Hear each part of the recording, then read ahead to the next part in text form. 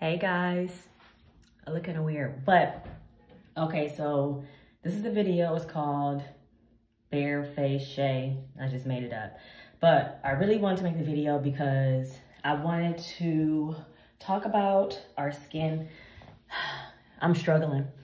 Um, I've struggled since I was a teenager with my skin, just based off having oily skin, acne prone skin, dark marks. I've been to, when I lived in New York, I had an issue where the air was so dirty that it just, the bacteria just ruined my skin. I was just acne prone. I went, had a, a terrible, terrible, terrible experience with a dermatologist in New York. But when I moved back to Cleveland, I had a better experience. And then when I moved to Houston, now that I'm in Houston, I have an amazing dermatologist that helped me through it. Um, I went through all different types of regimens, but now I'm trying to do more of a holistic, but still going to the dermatologist right now. My face is bare. I just got out the shower. I just washed my hair. One thing I'm learning about my skin, I need it to be cleaned all the time. And I'm like sweating, not sweating, my hair is dripping. So if you see me just wiping it, it's because my hair is dripping. Um, but just a full-blown experience of uh, skin regimens that I was saying before. And it's been stressful. And what I want is just something that is simple, straight to the point, something that I can do routine, something that is easy, and something that provide results. But it all depends on us, right? How often we do it, as far as when we wear makeup, how often we clean our face, how often we keep our hair done, how often we stay picking out of our skin, how often we stop putting makeup on our skin so much um, that it breaks it out. And also how often we clean our brushes. And I'll make another video on that, but I'm trying to just push through and making beauty tip videos on how I use, how I proactively use the things that have been provided to me by my dermatologist and just the research that I've done online and using those things and building my regimen with my face, right? So right now it's super, super wet, dry. Um, I just got the shower, but I'm gonna wash my face again. Um, my dermatologist recommended this, PanOxyl, I believe, but I get the 10% uh, benzoyl peroxide maximum strength because my skin is just heavily sensitive and very oily and very acne prone. And I work out and I'm in the sauna and I touch my face. I do all the things that you're not supposed to do, right? Not the working out and not in the sauna, touching my face. That's the one part. And I just can't help it because I'm always looking at it, scratching it. Uh, what is the thing? Just making sure it's together and just worrying about it all the time. So I just want to show you, I use this for my face. So I'm just gonna, I just put a little bit, just not a lot. Just maybe, maybe like a small, I don't wanna use it all. But cold water is what I use. And I try to first like wet, damp my face. And what you can do with that, if you wanna like damp your face first, you can use one of these small little, and you can just damp it first just to get it wet. And then I like to get it foamy and my, my main areas that are terrible is this area. My cheeks, because I sleep on my side of my bed. And I break out so much in this area right here. So that's like one of the areas that I try to get. My forehead, I never had issue with my forehead that much. But I know my cheeks, oh, are like the worst areas. And I try to just foam it up. Maybe sometimes I overdo it. You don't need to because putting this, putting more on it doesn't do anything. Using it routinely does it. So I had to stop that. I was overusing because I was under routining, right? I wasn't doing it every night, every morning, and every night. Well, I do it every morning. I wasn't doing it every night. Night routine is just as important as your morning routine. I found that out. Research, Google, all the same things, YouTube, just understanding how my skin works and wanted it to be better. So then I take this cold water, right? And then I just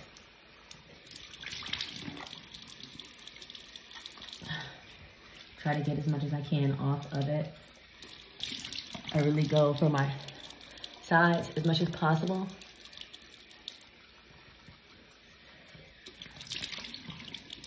And the cold water feels amazing to me. Some people say lukewarm. I like cold water, but this is just my regimen that I use. But I'm gonna routinely use it as much as possible and record it. And let's go through this challenge. I'm getting a towel. So I love white towels. So getting a cotton towel and just damp it. And I used to like traumatize my skin.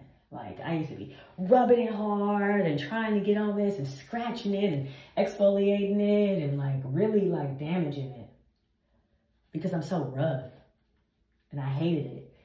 How my skin was, um, the results of my skin. I just hated how it looked. It was terrible. So I try to now be gentle with it because it's so sensitive. My skin is like, I have the most sensitive skin in the world, I feel like. Anything, any dandruff that falls on my face, anything that I touch, some wind blow with some dirt, I, I break out. It's just annoying. The pillow's dirty for one night, I break out. It's just the worst thing. Okay, so I'm done with that. So I use this apple cider vinegar and I use the with honey with the mother, the Bragg or Bragg organic apple cider vinegar. And what I do is, sorry, I take one of these, cold water, and I don't want to, I don't want to drop. So as soon as I mess with stuff, it messes up. But I just wanted to show you my area, my phone gonna drop. Um, but I use the cold water and it's little, it's wet, damp. And then I pour, not a lot, just enough for you to see the color of it. And then I take it and I put on my skin, especially on those areas that are dark marks right here. And if you're not a big fan, you see I'm licking my skin, because I like vinegar. If you're not a big fan of vinegar, I know this is like traumatizing. I know it's hard um, to deal with. And I'm not saying this, you, you, this is a, a must do. It's just something that I'm using to help with the, like the dark marks right here, right here, right here, right here, right here. All of this because, and try to get that bacteria out of my skin. So I try to use that and I let it dry just a bit as I'm cleaning the bathroom up. And another thing I use, this is what I, I brought this in the bathroom because I need to show you. You guys need to drink as much water as you can. This saves lives. This keeps your skin as clear as possible.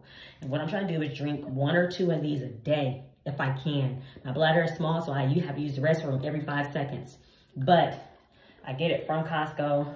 Kirkland is really easy drink. I like smooth water that's really easy and I like it room temperature. So I drink the purified water with electrolytes added for taste. It is really good. I do love this water. It's really easy to drink, as I said before. Um, but it's also for, I don't know, 16, it's like 10 bucks. It's really cheap and it lasts so long. Um, but this is one thing I will get from Costco if you are able to.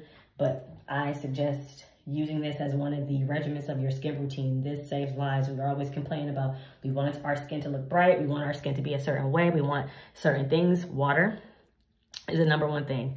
And cleansing your skin as much as possible. I use this day and night. I use it in the morning and I use it in, the night. Um, my nighttime time routine. I know I don't have something special and say, hey, what do you use in the morning? What do you use at night? You see I'm scratching. What do you use in the morning? What do you use at night? I don't. I use the same thing in the morning and at night. I don't know if that's good. I don't know if it's bad. I don't know. I'm just using it. I'm showing you, and then I'm going to keep using it and showing you and showing the results of these areas on my skin. So I cleansed it. I did my apple cider vinegar, and I also drink a cup also in the morning or in the afternoon. I just take a cup full of it. It's a great benefit to this and I do that.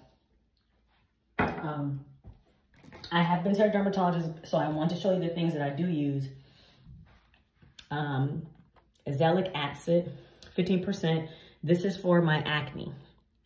So this is what I use for my acne, but it is prescribed by my dermatologist. It's something I use for my acne when I can't control it. This, I don't know how to pronounce it, but it's this. And this is for the dark marks. It helps with that.